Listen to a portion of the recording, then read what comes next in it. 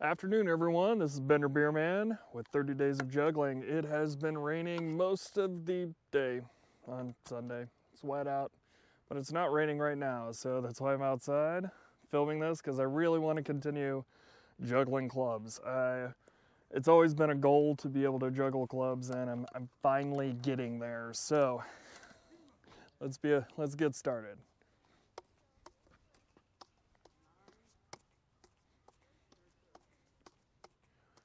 Holy, holy hell.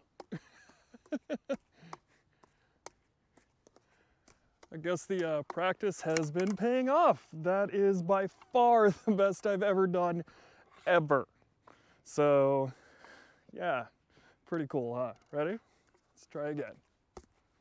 Ah, see, hit myself in the face.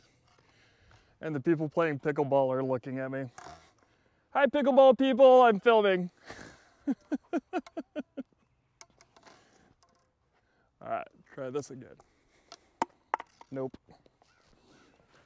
All